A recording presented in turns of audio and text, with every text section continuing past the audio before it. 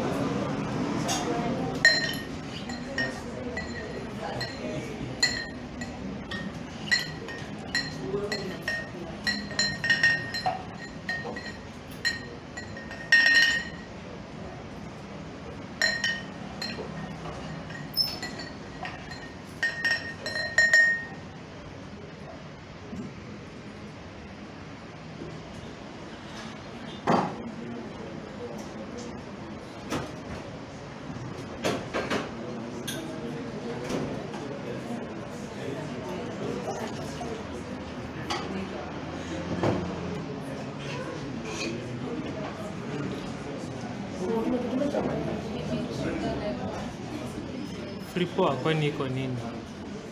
Ama umesahau? Hii ni superstar.